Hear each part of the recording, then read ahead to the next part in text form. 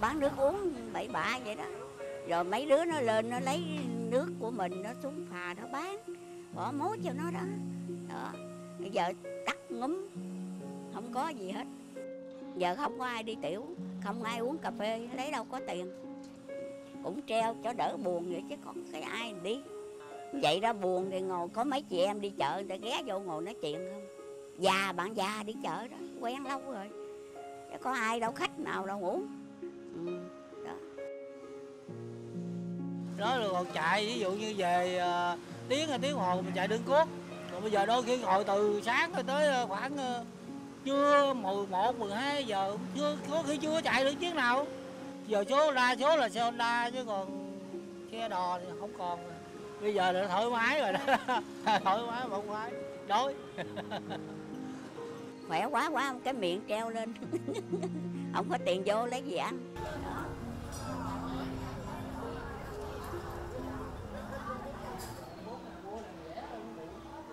không biết tính gì bây giờ. Giờ thì bán vé số.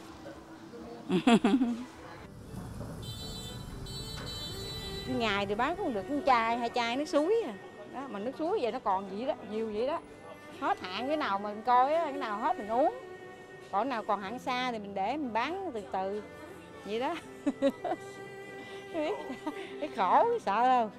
Có cậu dây chuyền có bán chỉ gửi à. Cái dây dây cái cấp lắc rồi nó có năm chỉ à. Đó rồi ăn cũng mau rất kỳ chứ không phải rồi ăn xong rồi tới cái nhà. Cái gì chứ giờ giờ, giờ sao? Giờ ai hỗ trợ cho mình giờ?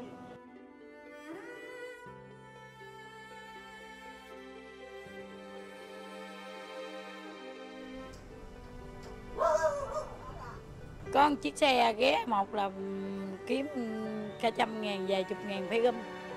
Bây giờ thì à, hết rồi. Cầu chạy rồi thì phải vậy thôi. Ở đâu cũng vậy mà. Bây giờ ta đi cầu hết trơn rồi phà phà này nghe nói gần nghỉ đưa nữa hay gì nè. Như có mà cầu phà chạy thì mình bán, mình kiếm thêm. Cũng đỡ sống, đỡ lắm. Sắm vàng đồ chụp đỉnh. Bây giờ thì à, à, đủ ăn thôi ta đi hết 8 phần còn hai phần ở lại đây chừng nào mà có người ta điện thoại mua nhà hay gì người ta mới về.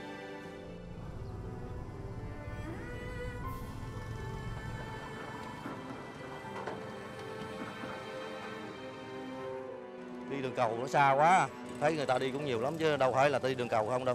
Cầu cũng như đi xa quá với trở nặng lên dốc khó lên lắm. Thành ra những cái à, người dân lao động như chúng tôi thì cũng thiết tha yêu cầu phà vẫn hoạt động để mà dễ về qua lại à, dễ về qua lại hơn là đi cầu Nguyễn yêu cầu phà có chạy là người dân đây sống được à. Ngưng thì người dân sẽ đợt khổ, đói